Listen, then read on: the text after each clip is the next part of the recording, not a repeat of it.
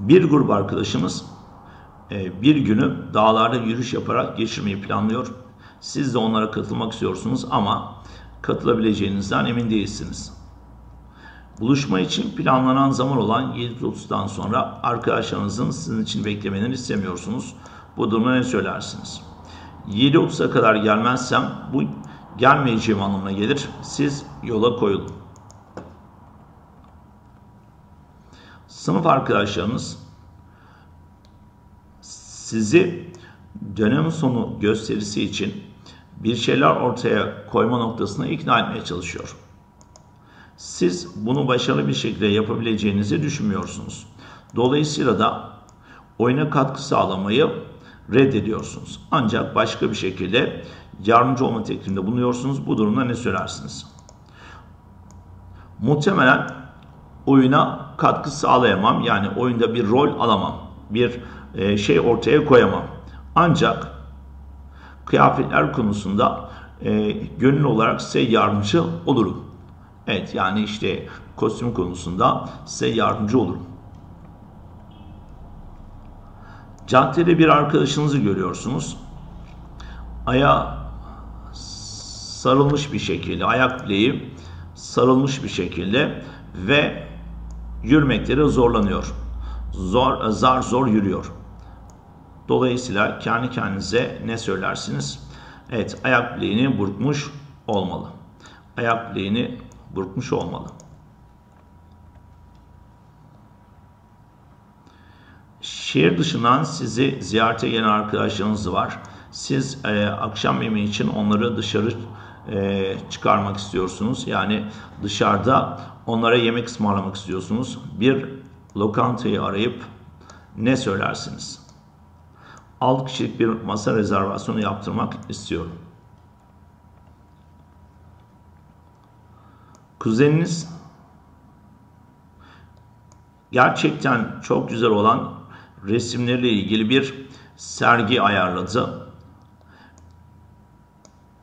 Mütevazi bir kişi olarak kuzeniniz sizin iltifatlarınızı kibarca reddediyor.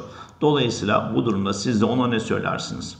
Hadi söylediğim her bir sözü, her bir kelimeyi hak ediyorsun. Gerçekten yeteneklisin. Yani bu konu mütevazilik yapma tarzından bir ifade.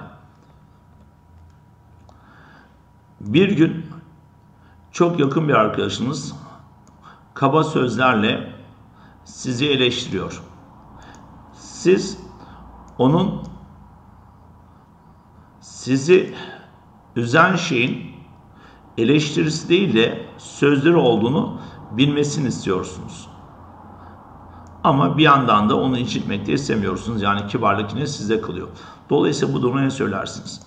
Evet, senin bana yardımcı olmaya çalıştığının farkındayım. Bunu biliyorum. Keşke bunu daha kibar bir şekilde yapmış olsaydım. Kız kardeşiniz yaz okuması için yazın okumak amacıyla kitap satın almak istiyor ve sizden de bu konuda yardımcı olmanızı, sizin önerilerinizi istiyor. Siz onun iyi bir seçim yapmasına yardımcı olmak istiyorsunuz. Bu durumda ne söylersiniz? Herhangi bir kitapta kitabın konusunu, kitabın arka kapağında konusunu, kitapla ilgili eleştirileri, şöyle e, söylenenleri ve kitabın rastgele birkaç sayfasını oku. Evet. Tavsiyem herhangi bir kitap alırken herhangi bir kitapta kitabın arka kapağında konusunu, kitapla ilgili yazılanları, söylenenleri evet e, ve kitabın rastgele birkaç sayfasını oku.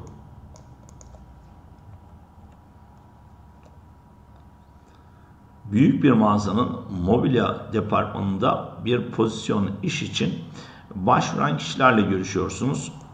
Siz başvuran kişinin kendisiyle ilgili konuşmasını sağlamak istiyorsunuz. Bu durumda ne söylersiniz? Niçin bu işte başarılı olabileceğini düşündüğünü bana anlat. Hem siz hem de erkek kardeşiniz okulun basketbol takımındasınız.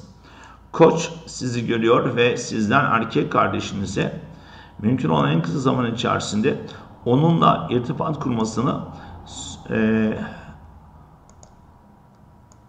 size e, söylüyor. Yani sizden kardeşinize mümkün olan en kısa zaman içerisinde koç ile irtibat kurmanızı söylemenizi sizden rica ediyor. Sizden bunu istiyor.